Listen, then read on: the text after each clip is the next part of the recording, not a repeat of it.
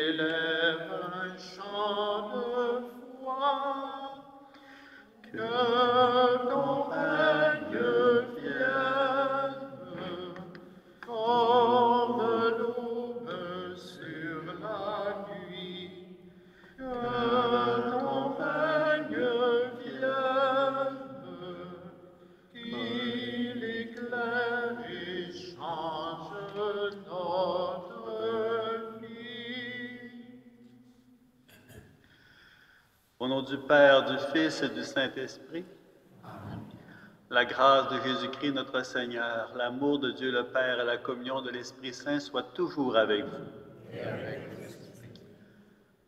Surprise, je suis l'abbé Gilles Roberge du diocèse de Trois-Rivières, un prêtre diocésain. Euh, J'étais à la sacristie en attendant. J'avais vu euh, l'abbé euh, Jean-Baptiste hier à Saint-Pétis. On s'était parlé rapidement.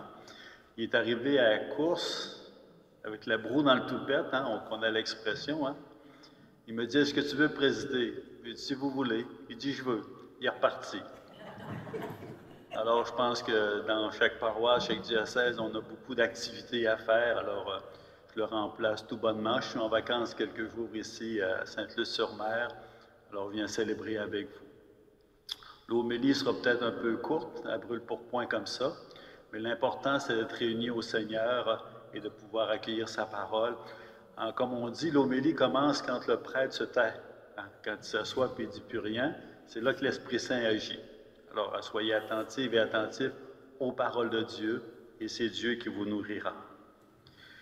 Nous prions particulièrement pour les parents vivants et défunts de Thérèse Perron-Beaulieu. Alors, euh, mes sympathies aux familles. On commence toujours la célébration en demandant au Seigneur sa miséricorde, son pardon. De plus en plus, j'ai l'intention de le faire non pas seulement pour moi ou pour chacun d'entre vous, mais pour le monde parce que notre monde souffre beaucoup. Alors, ce Kyrie, ce, ce Seigneur prend pitié, qu'il soit fait vraiment dans un cœur universel pour tous ceux qui souffrent, non pas seulement nous, ici présents, mais pour toute la terre. Seigneur, prends pitié. Seigneur, prends pitié. Ô Christ, prends pitié. Ô Christ, prends pitié. Seigneur, prends pitié.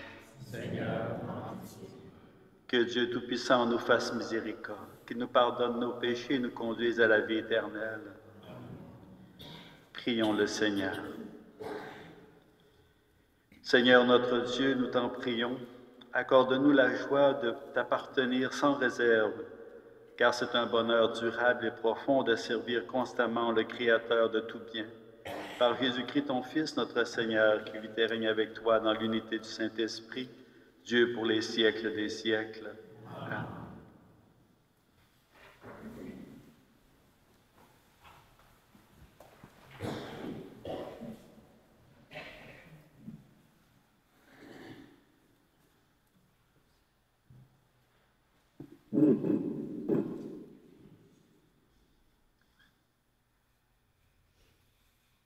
Lecture de l'Apocalypse de Saint Jean.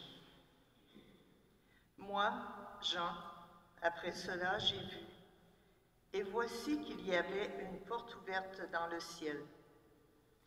Et la voix que j'avais entendue, pareille au son d'une trompette, me parlait en disant, Monte jusqu'ici, je te ferai voir ce qui doit ensuite advenir. Aussitôt, je fus saisi en esprit. Voici qu'un trône était là dans le ciel, et sur le trône siégeait quelqu'un. Celui qui siège a l'aspect d'une pierre de jaspe ou de cornaline. Il y a tout autour du trône un halo de lumière avec des reflets d'émeraude. Tout autour de ce trône, 24 trônes où siègent 24 anciens, portant des vêtements blancs et sur leur tête des couronnes d'or. Et du trône sortent des éclairs, des fracas, des coups de tonnerre, et sept torches enflammées brûlent devant le trône. Ce sont les sept esprits de Dieu. Devant le trône, il y a comme une mer, aussi transparente que du cristal. Au milieu, autour du trône, quatre vivants, ayant des yeux innombrables en avant et en arrière. Le premier vivant ressemble à un lion. Le deuxième vivant ressemble à un jeune taureau. Le troisième vivant a comme un visage d'homme. Le quatrième vivant ressemble à un aigle en plein vol. Les quatre vivants ont chacun six ailes, avec des yeux innombrables tout autour et au-dedans. Jour et nuit, ils ne cessent de dire Saint, Saint, Saint, le Seigneur Dieu, le souverain de l'univers, celui qui était, qui est et qui vient. Lorsque les vivants rendent gloire, honneur et action de grâce à celui qui siège sur le trône, lui qui vit pour les siècles des siècles, les vingt-quatre anciens se jettent devant celui qui siège sur le trône. Ils se prosternent face à celui qui vit pour les siècles des siècles. Ils lancent leur couronne devant le trône en disant, Tu es digne, Seigneur notre Dieu, de recevoir la gloire, l'honneur et la puissance. C'est toi qui créas l'univers, tu as voulu qu'il soit, il fut créé. Parole du Seigneur. Saint, Saint, Saint le Seigneur Dieu, le souverain de l'univers. Saint, Saint, Saint, Seigneur Dieu, souverain. Louez Dieu dans son temple saint. Louez-le au ciel de sa puissance. Louez-le pour ses actions éclatantes. Louez-le selon sa grandeur. Saint, Saint, Saint, le Seigneur Dieu. Louez-le en sonnant du corps. Louez-le sur la harpe et la cithare. Louez-le par les cordes et les flûtes. Louez-le par la danse et le tambour. Saint, Saint, Saint, le Seigneur Dieu. Louez-le par les cymbales sonores. Louez-le par les cymbales triomphantes. Et que tout être vivant chante louange au Seigneur. Saint, Saint, le Seigneur Dieu, le souverain de l'univers. Alléluia, Alléluia, Alléluia. Alléluia, Alléluia, Alléluia. C'est moi qui vous ai choisi afin que vous alliez, que vous portiez du fruit et que votre fruit demeure, dit le Seigneur. Alléluia, Alléluia, Alléluia. Alléluia, Alléluia, Alléluia. Le Seigneur soit avec vous. Évangile de Jésus-Christ selon Saint Luc. Gloire à toi, Seigneur Jésus. En ce temps-là, comme on l'écoutait, Jésus ajouta une parabole. Il était près de Jérusalem et ses auditeurs pensaient que le royaume de Dieu allait se manifester à l'instant même. Voici donc ce qu'il dit. Un homme de la, de la noblesse partit dans un pays lointain pour se faire donner la royauté et revenir ensuite. Il appela dix de ses serviteurs et remit à chacun une somme de la valeur d'une mine. Puis il leur dit, Pendant mon voyage, faites de bonnes affaires. Mais ses concitoyens le détestaient. Ils envoyèrent derrière lui une délégation chargée de dire, Nous ne voulons pas que cet homme règne sur nous. Quand il fut de retour, après avoir reçu la royauté, il fit convoquer les serviteurs auxquels il avait remis l'argent, afin de savoir ce que leur affaire avait rapporté. Le premier se présenta et dit, Seigneur, la somme que tu m'avais remise a été multipliée par dix. Le roi lui déclara, Très bien, bon serviteur, puisque tu as été fidèle en si peu de choses, reçois l'autorité sur dix villes. Le second vint dire, La somme que tu m'avais remise, Seigneur, a été multipliée par cinq. À celui-là encore, le roi dit, Toi de même, sois à la tête de cinq villes. Le dernier vint dire, Seigneur, voici la somme que tu m'avais remise. Je l'ai gardée enveloppée dans un linge. En effet, je savais, j'avais peur de toi, car tu es un homme exigeant. Tu retires ce que tu n'as pas mis en dépôt, tu moissonnes ce que tu n'as pas semé. Le roi lui déclara, Je vais te juger sur tes paroles serviteur mauvais. Tu savais que je suis un homme exigeant, que je retire ce que je n'ai pas mis en dépôt, que je moissonne ce que je n'ai pas semé. Alors pourquoi n'as-tu pas mis mon argent à la banque? À mon arrivée, je l'aurais reprise avec les intérêts. Et le roi dit à ceux qui étaient là, Retirez-lui cette somme et donnez-la à celui qui a dix fois plus. On lui dit, Seigneur, il a dix fois plus. Je vous déclare, on donnera à celui qui a, mais celui qui n'a rien se verra enlever même ce qu'il a.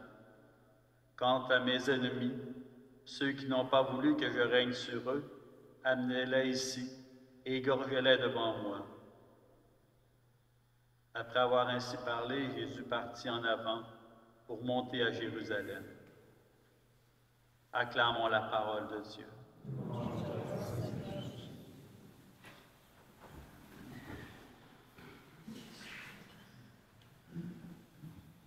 Un premier mot sur euh, le livre de l'Apocalypse. Hein. Je fais un petit peu de peinture, puis je me dis, euh, ouais, serait pas facile à illustrer, hein? Toutes ces descriptions, hein? ces personnages, ces visages. Je ne sais pas si vous avez déjà remarqué, on parle de quatre signes, symboles, animaux, espèces. Hein, on parle d'un taureau, d'un lion, d'un aigle, d'un enfant. Est-ce que vous savez à qui ça fait référence, du moins à qui les artistes les ont attribués? Les quatre évangélistes. On a des hommes instruits parmi nous, des femmes, sans aucun doute aussi. Oui, effectivement, c'est les quatre évangélistes. Hein, quand on voit des statues, des peintures, des évangélistes, on a à côté ce qui les représente. Alors moi, j'ai des petits trucs assez simples pour m'en souvenir, parce qu'on les voit, quand c'est pas marqué, on ne sait pas trop c'est qui. Alors, Marc a quatre lettres comme lion. Alors, quand on voit un évangéliste avec un lion, on dit c'est Marc. Luc, avec le U, c'est comme des cornes. Donc, on le représente avec le taureau. Saint Jean, c'est un évangéliste plus spirituel, plus élevé, donc c'est l'aigle qui s'élève au-dessus. Alors, Saint Jean, c'est l'aigle. Et Matthieu, c'est le dernier qui reste, donc c'est l'enfant ou l'ange qui accompagne l'évangéliste. Alors, c'est des façons de les retenir. Qui a fait les liens avec tout ça? Bon, l'histoire le dira peut-être un jour, mais c'est comme ça qu'on les représente souvent. Pour dire qu'ils ont une place particulière. Hein? Vous vous rendez compte que si personne n'avait écrit l'histoire de Jésus, on serait ici à se poser la question qui il était, qu'a-t-il fait, etc.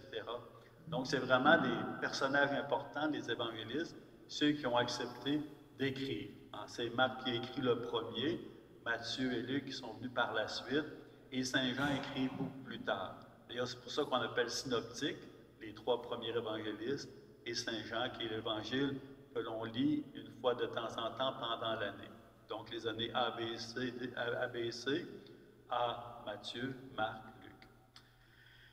Alors, euh, c'est un texte qui nous parle aussi un peu de façon presque effrayante. hein. Quand on dit Apocalypse, on allait dire une expression vulgaire, on chie dans nos culottes. Je ne le dirais pas parce qu'on est à la TV. Mais euh, ce que je veux dire, c'est que ça nous effraie un peu hein, quand on dit apocalypse, avec les, films apocalyptiques où ce que tout s'effondre. Apocalypse, ça veut dire révélation. Alors, on devrait le voir non pas comme quelque chose d'effrayant, mais hein, c'est comme quand on attend de la visite. hein, on a hâte que ça arrive. on a tout préparé, on a fait en sorte que, que ce soit prêt. Alors, l'Apocalypse, c'est dans ce sens-là, c'est dire, le Seigneur vient, il s'en vient, il, arrive, il est à notre portée. Saint Paul, il y a 2000 ans, en parlait aussi. hein. Ça veut dire que le retour du Christ, il n'est peut-être pas pour demain ou après-demain. Par contre, il faut toujours être prêt. hein. Toujours être prêt parce qu'on dit, il viendra à l'heure qu'on n'attend pas comme un voleur.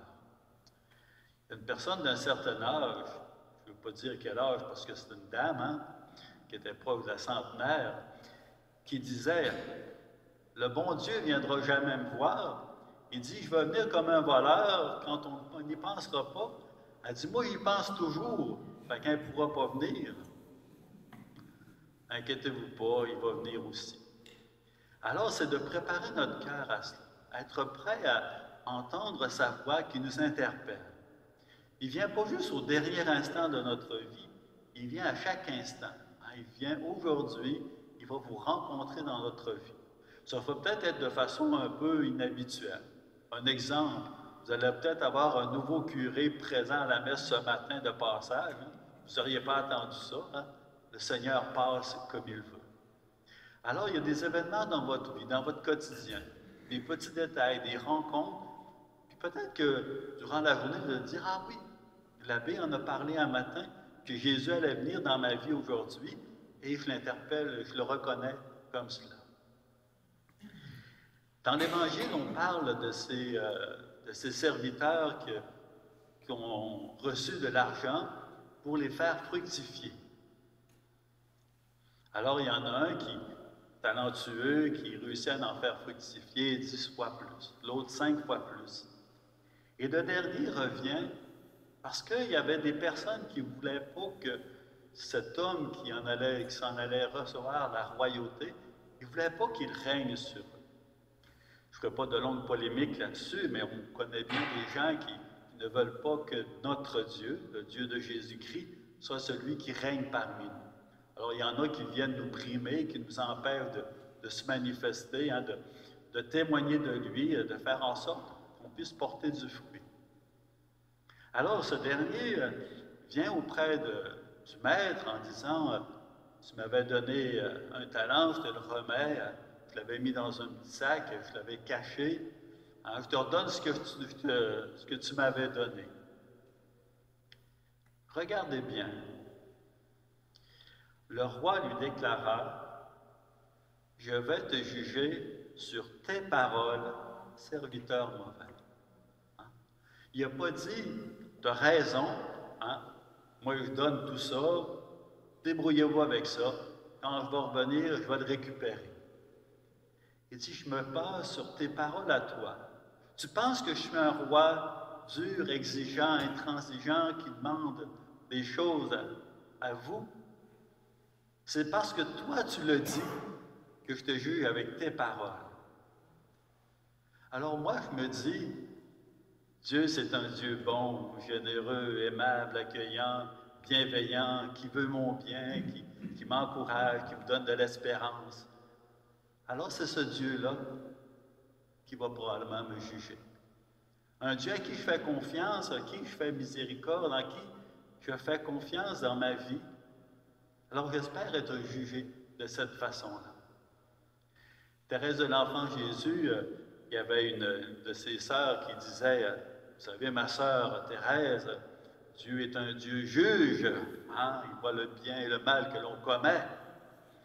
Thérèse de l'Enfant Jésus avait répondu, euh, moi je veux, je, je vois un Dieu miséricordieux. Vous vous arrangerez avec la justice. Moi, je vais m'arranger avec la miséricorde du bon Dieu. Alors, soyons de ces personnes qui accueillons Dieu comme étant un Dieu qui nous aime, un Dieu plein de tendresse, plein de miséricorde. Ne créons pas les grandes manifestations catastrophiques de l'Apocalypse, mais soyons présents que chaque jour le Seigneur passe dans notre vie. Chaque jour le Seigneur est présent. Et faisons du mieux que notre possible pour faire fructifier les talents que le Seigneur nous a confiés. On termine en disant que si tu avais donné cette somme à la banque, elle aurait porté du fruit. J'ai longuement médité sur ce passage en disant qu'est-ce que ça voulait dire? Parfois, on est un peu talentueux, mais on ne le sait pas trop. Alors, on va voir quelqu'un en lui disant Je serais prêt à faire du bénévolat, mais je ne sais pas comment.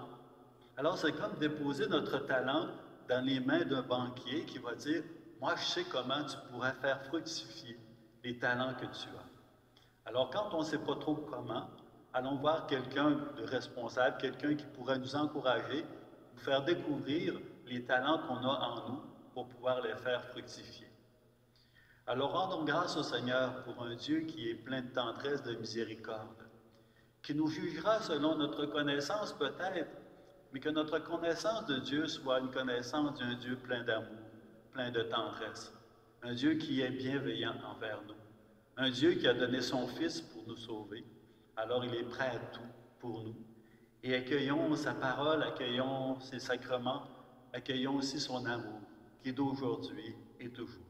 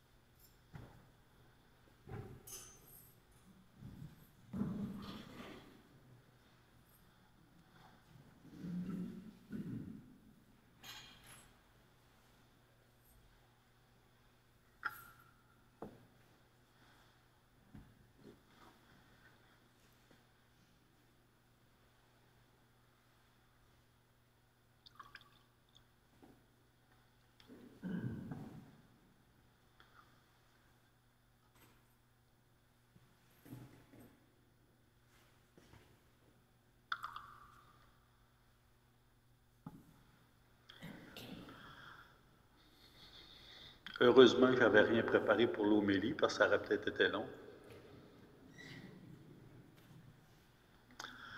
Alors nous offrons l'humanité entière à travers le pain et le vin. Tu es béni, Seigneur, Dieu de l'univers. Nous avons reçu de ta bonté le pain que nous te présentons. Fruit de la terre, travail des humains, deviendra pour nous le pain de la vie.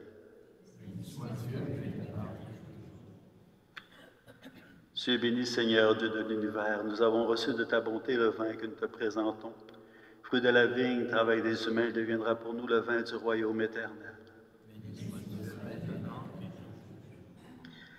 Humble et pauvre, te supplions, Seigneur, accueille-nous. Que notre sacrifice en secours trouve grâce devant toi.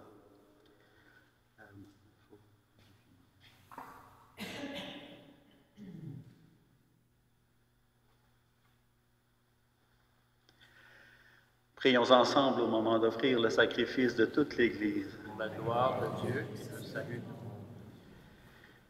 Nous t'en prions, Seigneur Dieu de majesté, regarde les présents que nous offrons, nous t'offrons et permets qu'ils nous obtiennent la grâce de te servir et de parvenir ainsi à l'éternité bienheureuse par le Christ notre Seigneur. Amen. Le Seigneur soit avec vous. Et avec votre esprit, Élevons notre cœur. nous le tournons vers le Seigneur. Rendons grâce au Seigneur notre Dieu. Cela est juste et bon. Vraiment, il est juste et bon pour ta gloire et notre salut de t'offrir notre action de grâce toujours et en tout lieu, Seigneur Père très saint, Dieu éternel et tout-puissant. Dans ta miséricorde, tu as tellement aimé le monde que tu nous as envoyé le Rédempteur. Tu l'as voulu à notre ressemblance en toutes choses, excepté le péché, afin d'aimer en nous ce que tu aimais en lui. Tes dons que nous avions perdus par la désobéissance du péché, nous les retrouvons par l'obéissance de ton Fils. C'est pourquoi avec les anges et tous les saints saintes, nous te louons, Seigneur, et nous exultons de joie en proclamant Saint, Saint, Saint, Saint est le Seigneur notre Dieu. Le ciel et la terre sont remplis de ta gloire. Hosanna au plus haut des cieux. Saint, Saint, Saint le Seigneur notre Dieu. Béni soit celui qui vient au nom du Seigneur.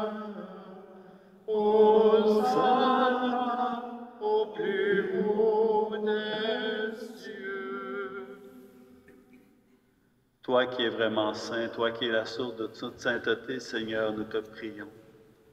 Sanctifie ces offrandes en répandant sur elles ton esprit, qu'elles deviennent pour nous le corps et le sang de Jésus le Christ, notre Seigneur. Au moment d'être livré et d'entrer librement dans sa passion, il prit le pain. En te rendant grâce, il le rompit et le donna à ses disciples en disant, Prenez mangez-en tous. Ceci est mon corps livré pour vous.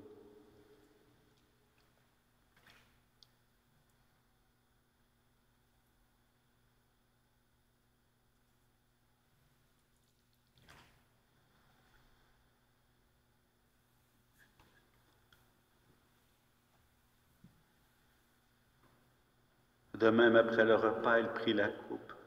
De nouveau, il rendit grâce, la donna à ses disciples en disant, Prenez buvez-en tous, car ceci est la coupe de mon sang, le sang de l'alliance nouvelle et éternelle, qui sera versé pour vous et pour la multitude en rémission des péchés.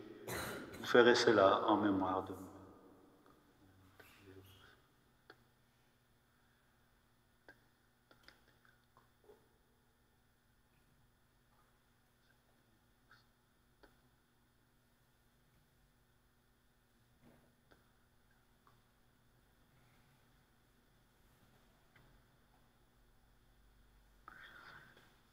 Il est grand, le mystère de la foi. Nous annonçons ta mort, Seigneur Jésus. Nous proclamons ta résurrection. Nous attendons ta venue dans la gloire. En faisant ainsi mémoire de la mort et de la résurrection de ton Fils, nous t'offrons, Seigneur, le pain de la vie et la coupe du salut. Et nous te rendons grâce car tu nous as estimés dignes de nous tenir devant toi pour te servir. Humblement, nous te demandons qu'en ayant part au corps et au sang du Christ, nous soyons rassemblés par l'Esprit Saint en un seul corps. Souviens-toi, Seigneur, de ton Église répandue à travers le monde. Fais-la grandir dans ta charité en union avec notre Pape François, notre évêque Denis, tous les évêques, les prêtres, les diacres et le peuple des rachetés. Souviens-toi aussi de nos frères et sœurs qui se sont endormis dans l'espérance de la résurrection, de la famille Thérèse Perron-Beaulieu. Souviens-toi dans ta miséricorde de tous les défunts et accueille-les dans la lumière de ton visage. Sur nous tous, enfin, nous implorons ta bonté. Toutes les personnes qui se recommandent nos prières, tous nos amis, tous ceux qui souffrent, les malades. Permets qu'avec la Vierge Marie, la bienheureuse Mère de Dieu, avec Saint Joseph, les apôtres, les martyrs, les bienheureuses Élisabeth Turchon, Saint Robert Bellarmin, Bienheureux Père Frédéric et tous les saints saintes qui ont fait ta joie au long des âges, nous ayons part à la vie éternelle et que nous chantions ta louange et ta gloire par ton Fils Jésus le Christ. Par lui, avec lui, en lui, à toi, Dieu le Père Tout-Puissant, dans l'unité du Saint-Esprit, tout honneur et toute gloire pour les siècles des siècles. Amen.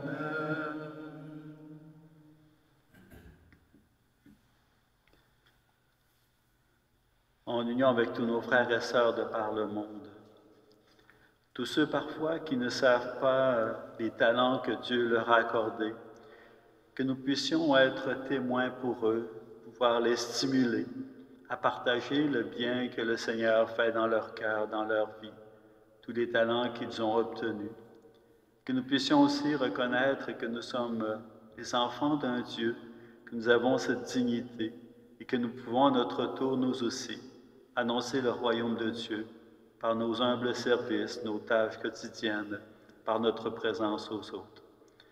Disons ensemble la prière que Jésus nous a enseignée, qui nous rappelle qu'on a un Dieu plein de miséricorde et de tendresse qui veut nous accueillir auprès de lui pour toujours. Ensemble, disons, notre Père qui es aux cieux, que ton nom soit sanctifié, que ton règne vienne, que ta volonté soit faite sur la terre comme au ciel. Donne-nous aujourd'hui notre pain de ce jour. Pardonne-nous nos offenses, comme nous pardonnons aussi à ceux qui nous ont offensés. Et ne nous laisse pas entrer en tentation, mais délivre-nous du mal. Délivre-nous de tout mal, Seigneur, et donne la paix à notre temps, à notre monde, à nos sociétés. Souviens-toi dans ta miséricorde, soutenus par ta miséricorde, nous serons libérés de tout péché, à l'abri de toute épreuve, nous qui attendons que se réalise cette bienheureuse espérance, l'avènement de Jésus-Christ, notre Sauveur. Car c'est à toi qu'appartient le règne, la puissance et la gloire pour les siècles des siècles. Seigneur Jésus-Christ, dit à tes apôtres, je vous laisse la paix, je vous donne ma paix. Ne regarde pas nos péchés, mais la foi de ton Église, pour que ta volonté s'accomplisse, donne toujours cette paix et conduis-la vers l'unité parfaite, toi qui vis et règnes pour les siècles des siècles. Amen. Que la paix du Seigneur soit toujours avec vous. Et avec votre esprit. Dans un instant, un geste de partage de la paix, la paix du Seigneur.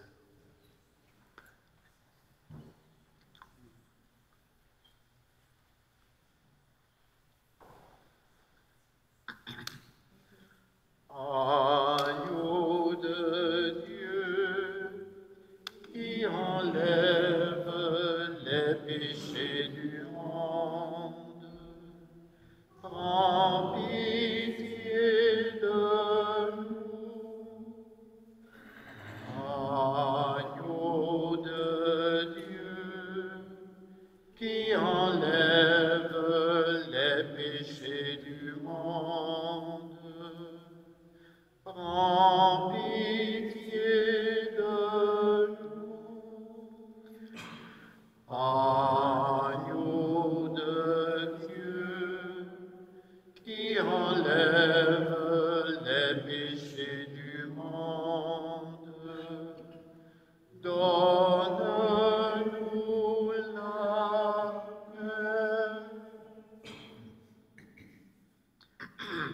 Voici l'agneau de Dieu, voici celui qui enlève le péché du monde. Heureux les invités au repas des noces de l'agneau. Seigneur, je ne suis pas digne de te recevoir, mais seulement une parole et serai guéri. serai guéri. Que le corps et le sang du Christ nous gardent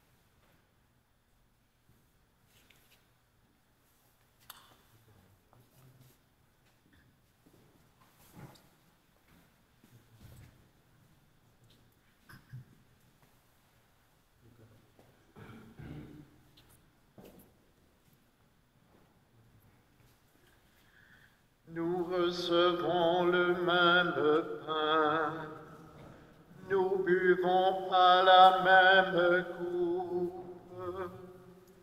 afin de devenir celui qui nous, qui nous unit, le corps du Christ.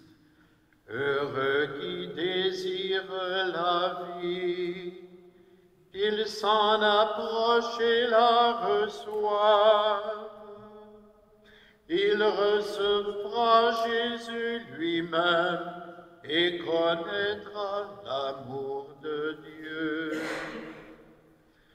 Nous recevons le même pain, nous bu- buvons à la même coupe, afin de devenir celui qui nous unit, le corps du Christ.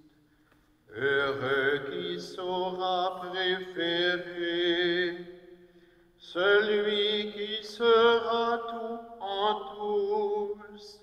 Il amasse dès ici-bas un trésor précieux dans le ciel.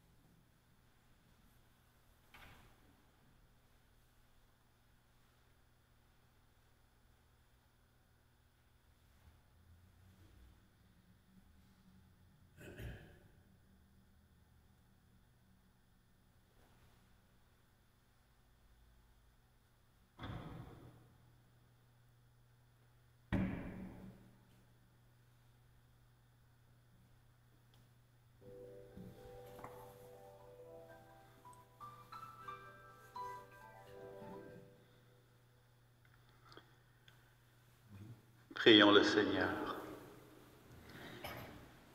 Seigneur, nous avons reçu les dons que tu nous as faits dans ce sacrement et nous te supplions humblement. Ton Fils nous a demandé de les célébrer en mémoire de lui, qu'ils augmentent en nous la charité par le Christ notre Seigneur. Le Seigneur soit avec vous. et avec votre esprit.